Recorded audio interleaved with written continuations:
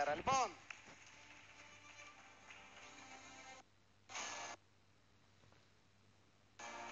Πολύ ωραία.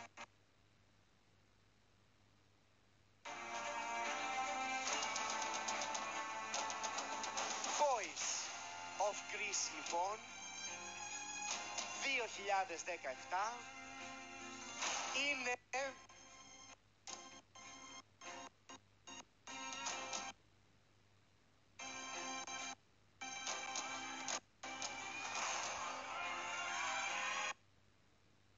2017 Έλα, όχι ακόμα.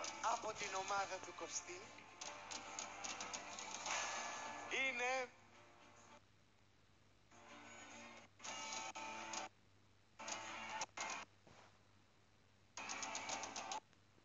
ο Γιάννης Μαρκάκης.